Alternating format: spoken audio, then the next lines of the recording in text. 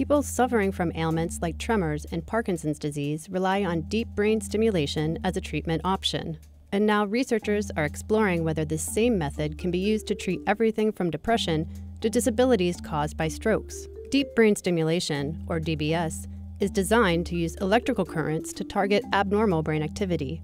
The method triggers blood flow and a series of chemical reactions that leads to the release of neurotransmitters. Together, these actions help correct malfunctioning connections in the brain. This is how DBS works.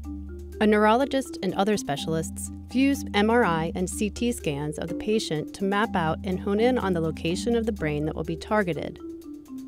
Doctors then surgically implant electrodes on the targeted areas of a patient's brain using a thin probe called a lead.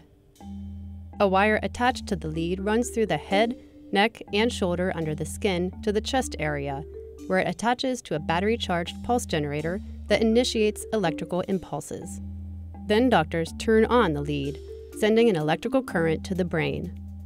The patient, now awake, may be asked to move an arm, for example, so doctors can ensure that electrodes are precisely placed. A few weeks after the surgery, the patient visits a neurology specialist who programs how strong of a pulse the device delivers, how long it lasts, and how many times per second the electrical pulses are delivered.